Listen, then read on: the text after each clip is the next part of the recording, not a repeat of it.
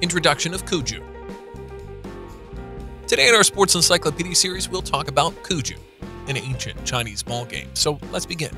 Cuju is an ancient ball game from China that involved kicking a ball through an opening into the net. The game dates back to the Han Dynasty, where military workers from the 3rd and 2nd centuries BC described it as exercise. It's believed that the very first mention of Cuju, the game, was found in the historic text in the Warring States era, Zhan Guo Ce, in the section describing the states of Qi. The game was also popular in Korea, Japan, and Vietnam.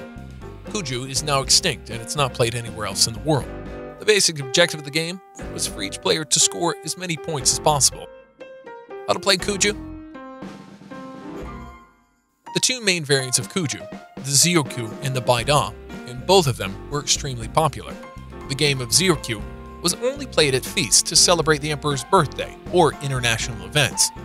In the variant, the game is played with 12 to 16 players in each team. The second variant, Baida, became popular in the Song Dynasty.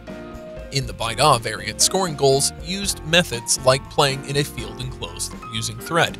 The players were required to kick the ball within the set limits. The basic target for each team in the Baida variant was to avoid fouls and score as many points as possible.